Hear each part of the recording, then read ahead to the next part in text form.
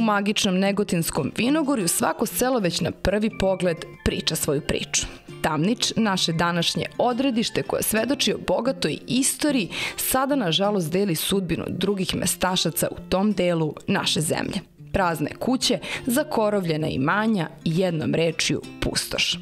I u selu u kome se mlepih sećnja čini se bilo šta drugo teško pronaći, nas je dočekala nasmejana i brojna porodica Nikolić. I već nakon nekoliko rečenica jasno nam je da imaju razloga za zadovoljstvo. Gospodin Saša, inače direktor tehničke škole u Negotinu, koji je bezbrižno detinjstvo proveo upravo ovde u Tamniču, rešio da se upusti sa svojim najmilijima u avanturu. Tragali su za novim životnim izazovom ili, kako kažu, hobijem i pronašli su ga. Došli smo do jednog specifičnog kod nas još uvek nepoznatog e, začina, odnosno ne samo začin, nego e, lekovitu biljku koja se zove šafran. Proizvodnju smo ušli pre dve godine. Pre toga je trebalo poprilično vremena, skoro godinu dana smo im istraživali. Najpre je problem bio gde naći lukovice. Kod nas ih nema, možda se pronađe možda nešto, nešto što podseća na šafran, ali to nije to, odnosno nije jestiv. Postoji čak 70, možda i više vrsta krokusa, od toga samo ovaj krokus sativus ovog jestivog šafrana. Inače, šafran je mediteranska biljka koja traži zemljište koje odgovara vinovoj lozi. Tako da je to bio razlog zbog čega smo se odlučili za, za šafran. Na desetari tada je otpočeo njihov porodični eksperiment, uzgoj prvog srpskog šafrana. S obzirom da su najveći svetski proizvođači Iran i mediteranske zemlje poput Španije, Francuske, Maroka i Grčke, naši domaćini prvo su morali da se upoznaju s ovom netipičnom biljkom za Negotinsku krajinu. Ono što je interesantno za ovu biljku jeste da ona ima obrnuti vegetacioni ciklus.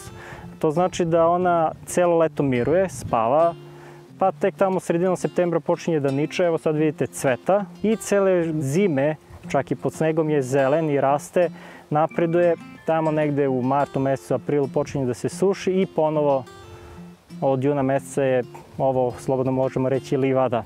Celokupan postupak od sadnje pa nadalje je ručno, znači bez prskanja, bez ikakvih hemikalija, herbicida. Ono što je dobro jeste što ovde u okolini mi uopšte nemamo obradivih površina, tako da nema e, nikakvih hemikalija u smislu prskanja okolnih parcela, tako da je ovo potpuno prirodan proizvod. Ono što cele godine porodica Nikolić nestrpljivo čeka je berba i vreme kada sunčano vinogorje na istoku naše zemlje na neko vreme postaje Mediteran. On cveta jedno oko tri nelje. Ono što je jako bitno da tog dana kada se rascveta i kad počne prvi cvet se pojavi, svakog dana cveta i svakog dana mora da se obiđe, da se obere, istog dana očisti, osuši kako bi se održao neki kvalitet. Suši se na ramovima koji su obloženi, odnosno sredina je od prirodne svile. E, jako je bitno da bude prirodna svila jer ona ne gori.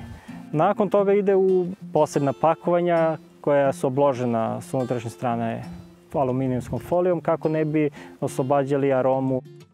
U trenutku kada je berba, odnosno kada se čisti, e, odvajaju zapravo stigme od, od latica, od ostalog dela cveta, potrebno je što veći broj ruku. Primarno su Aleksa Luka i Filip i naravno ja i supruga.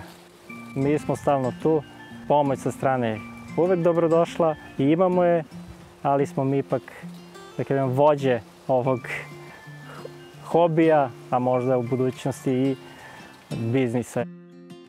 Šafran je poznat i kao crveno zlato, odnosno najskuplji zači na svetu, jer je za kilogram potrebno ubrati čak 150.000 svetova. Zbog toga naši domaćini pažljivo broje svaki gram. Prve godine nekih 30 grama na 10 ari, druge godine 7 puta više, a sada očekujem da bude, odnosno drugu barem 2-3 puta veća količina.